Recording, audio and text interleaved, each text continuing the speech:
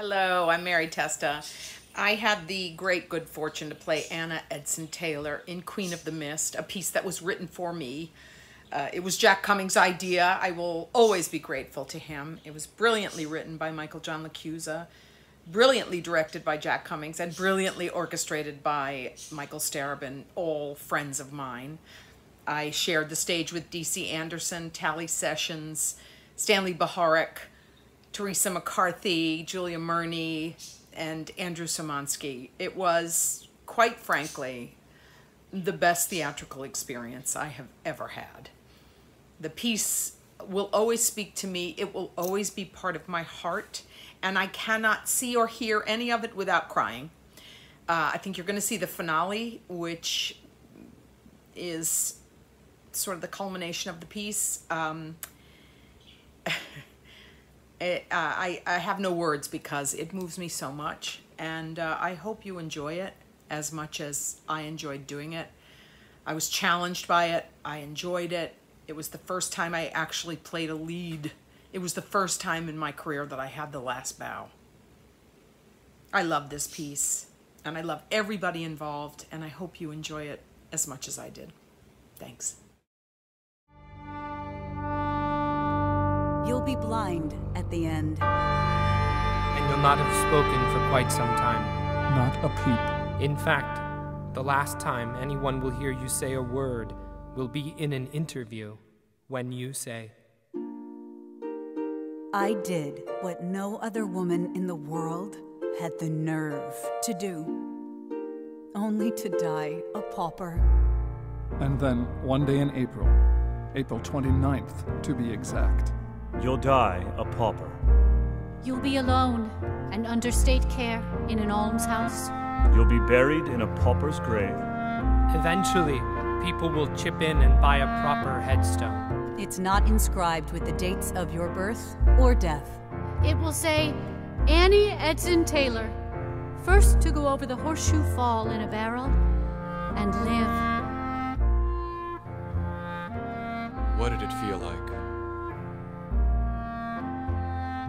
Sky, slate, gray, blue, clouds, migrating geese,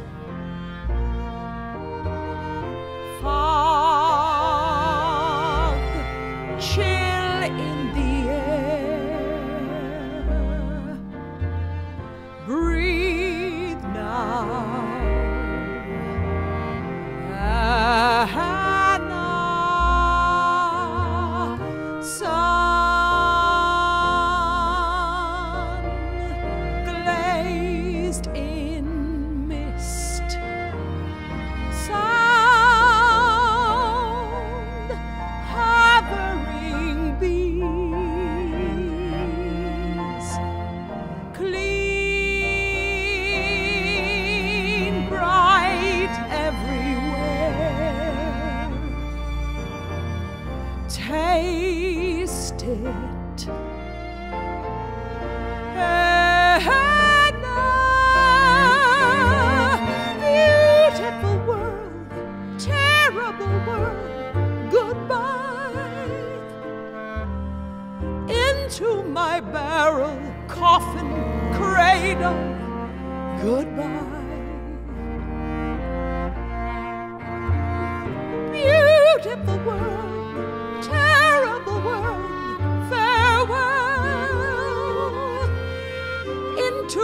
Water, gravesite, heaven or hell.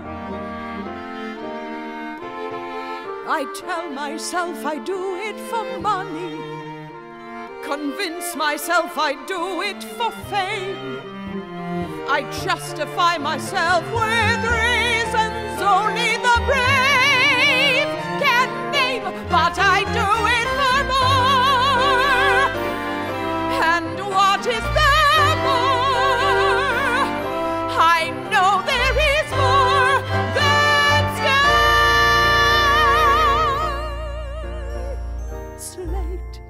gray, blue. Why People will ask. There is no beautiful, terrible one, no answer at all, no answer to give except to live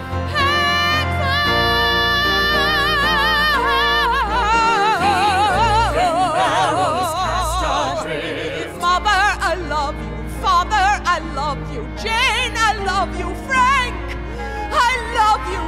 I feel you all in here with me.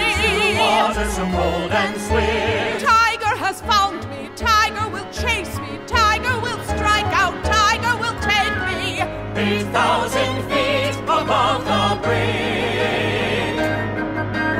Come, must stay calm. Hush, don't make a sound. Don't let the thunder god hear you, or he might obstruct your way. Don't let the thunder god know your plan, and whatever you do, don't pray. On past the rabble who line the shores, gamblers, gawkers, and saints and whores. Would she survive or would she sink?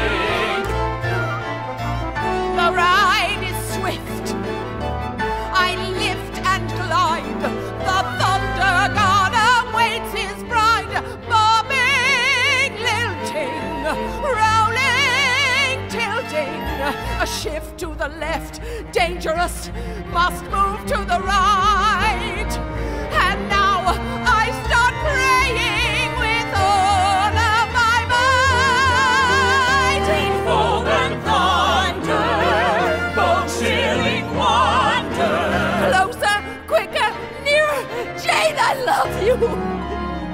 Frank, I love you. I succumb to the thrall of the Thunder God's teeters right on the edge of doom, and pauses once as if to think, is this all? I feel the fall. I feel the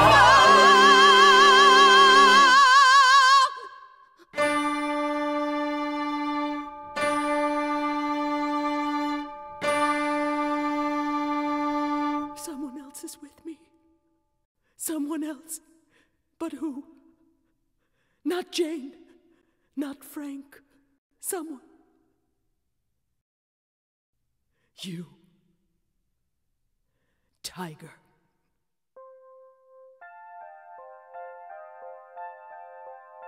You're crying. Don't be scared. Just hold on to me. I'll hold on to you. We won't be scared. Look, a light, a glow. And so I know I live. My God, the woman is alive. Indeed, I am. Sky, slate gray